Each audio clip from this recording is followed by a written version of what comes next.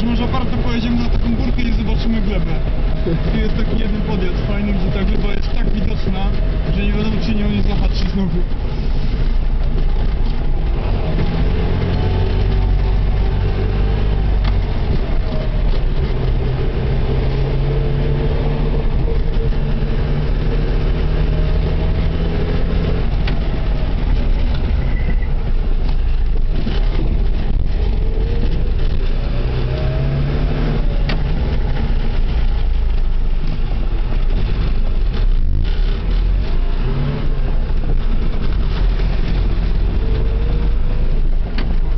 Lord.